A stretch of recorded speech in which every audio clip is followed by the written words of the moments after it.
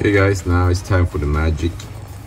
Now we got the gunmetal gray underneath here.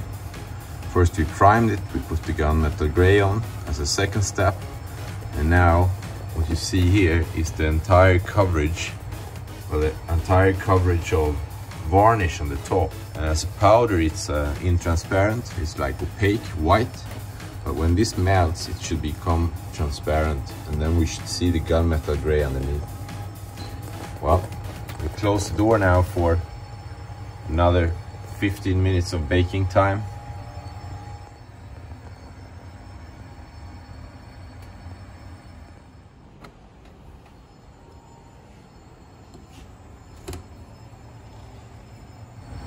Now the top coat, the shiny top coat has melted and we can see the gunmetal gray through the top coat.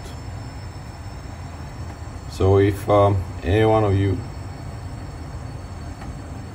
listeners out there can tell me what this is, please write it in the comment section. What is this?